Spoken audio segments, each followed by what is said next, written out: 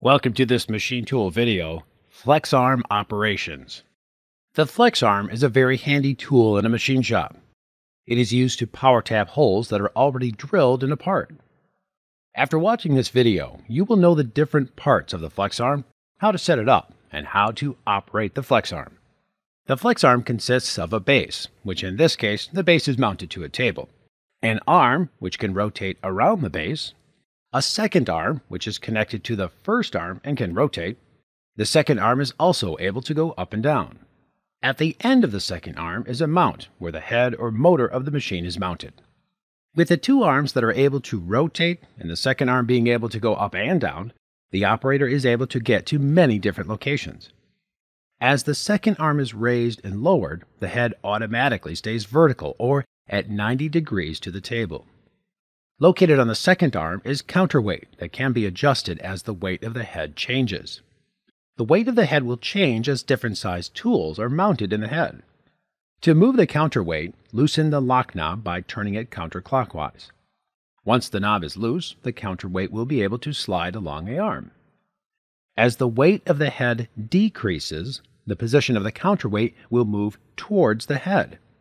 As the weight of the head increases, the position of the counterweight will move away from the head. To clamp the counterweight, tighten the knob by turning it in a clockwise direction. The purpose of the counterweight is to balance the machine so that the head stays where the operator wants it to stay. Also, when the machine is balanced, the operator does not fight against the weight of the tool. The head or motor is an air motor. This means that it needs compressed air to operate. Located on the first arm is an air regulator and the fitting for connecting air supply to the machine. To supply air to the machine, connect a compressed air line to the inlet fitting on the machine. Located on the side of the machine is the throttle lever. Pressing the throttle lever will spin the spindle of the head in a clockwise direction. The more you press on the throttle lever, the faster it will go. The head is also capable of spinning in a counterclockwise direction or reverse. To do this, press and hold the reverse button and then press the throttle lever. Different sizes of taps are able to be used in the flex arm as long as it is a tap that can be used to machine tap or power tap. Make sure not to use a hand tap in the flex arm.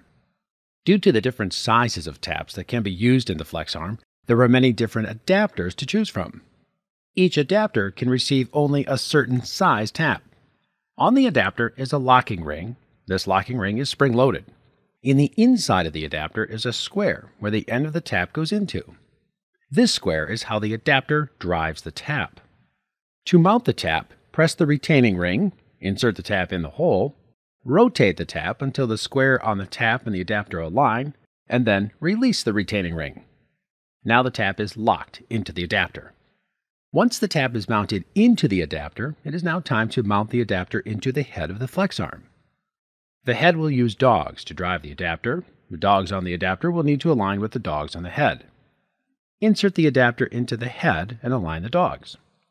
To lock the adapter into the head, pull up on the collar on the head and insert the adapter all the way into the head. Once the adapter is inserted all the way into the head, release the collar. Now the adapter is locked into the head. To remove the adapter from the head, pull up on the collar and the adapter will be released. This machine is equipped with a drill chuck that has the correct adapter on it to mount into the head. The reason for having the drill chuck is to countersink holes if needed. The drill chuck is mounted into the head, just like a tap would be. To mount the countersink in the drill chuck, insert the countersink into the drill chuck and snug the chuck. Use a chuck key to fully tighten the chuck. The part that is being worked on needs to be mounted, it can either be clamped to the table or mounted in a vise. In this example, a vise will be used. When mounting the part, the operator should be able to reach all the holes. With the countersink mounted in the flex arm, bring the head down to the part and align the countersink in the hole. Press the throttle lever to rotate the spindle and apply slight down pressure. Repeat this procedure for all the holes that need to be countersunk. Once the holes are ready to be tapped, Mount the correct tap into the adapter and then into the head of the flex arm. Make sure that the counterweight is adjusted properly for the weight of the tap. Move the head so that the tap is just above the hole that needs to be tapped, applying tapping fluid to the hole and the tap. Press the throttle lever so the tap is spinning. Bring the tap down to the part. The tap will start to feed itself into the hole. When the desired depth is reached, release the throttle lever. To get the tap out of the hole, press and hold the reverse button, and then press the throttle lever until the tap is out of the hole. When tapping, let the machine do the work. Do not apply pressure up or down. Repeat this process until all the holes are tapped. In this video, the parts of the flex arm were explored. Setting up the flex arm was explained, and operating the flex arm was demonstrated. You have completed this machine tool video, Flex Arm Operations.